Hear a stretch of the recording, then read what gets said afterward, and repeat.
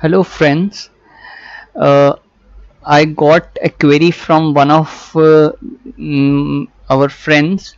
He is a subscriber to my channel. Uh, the query is that uh, uh, display approximate value of pi under the required precision in number indicator and a dialog box. For example if required precision is 3 digits display 3.14 in two ways so let's see how we can do that. So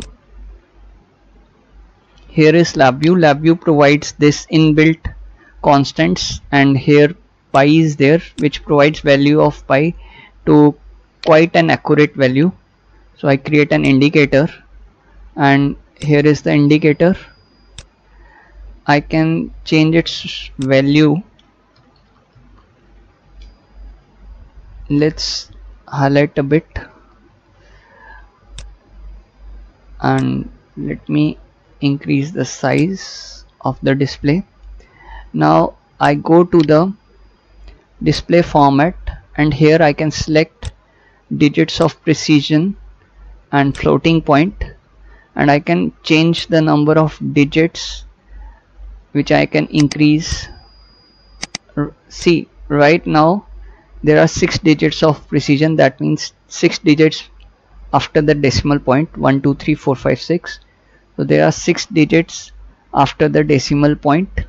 So I can increase the digits as much as the system allows.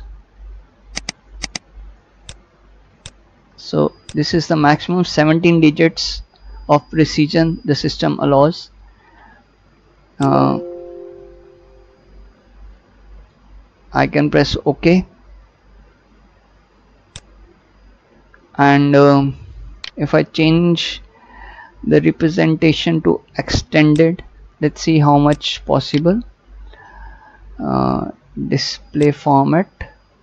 Is it possible to increase more digits of precision? No. The 17 digits of precision is the maximum which is allowed. Uh, can this be done programmatically? Yes it can be done programmatically. Let's see.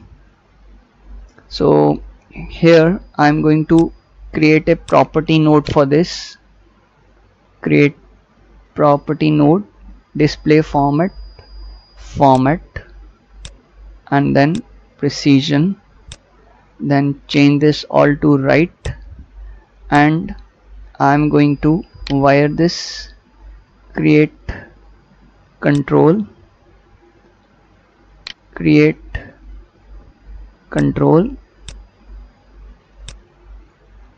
change this to display. And here display precision. Just write it here. Change that to bit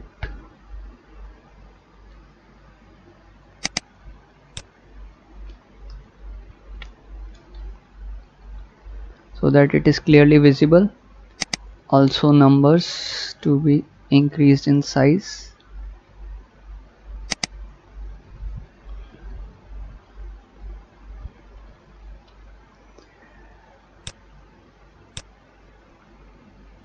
So now I'm going to run this program continuously.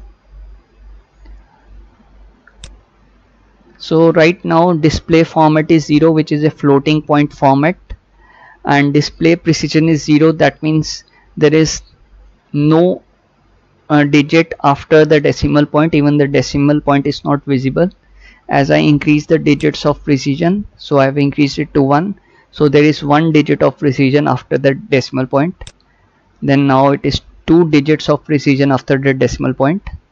And so on. If I keep on increasing the digits of precision it will keep on increasing the digits of precision in the numeric display. And at max I can go up till 17 digits of precision. And afterwards it would be the trailing zeros. And if I want to decrease I can decrease the digits of precision to as said three digits of precision. So three digits of precision or maybe two whatever you like. So I hope this query is clear to my friend who have asked for it. And I hope everybody who is my subscriber to my channel have understood this uh, task at hand. Thanks for watching this video